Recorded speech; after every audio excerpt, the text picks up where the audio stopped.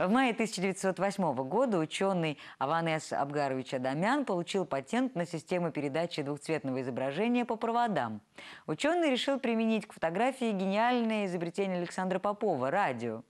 В октябре 1921 года он выступил на восьмом Всероссийском электротехническом съезде с докладом о передаче фотографических изображений на расстояние.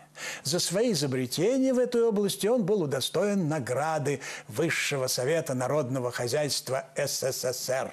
30 июня 1930 года Адамян осуществил прием первой фоторадиограммы по своей схеме между Москвой и Ленинградом.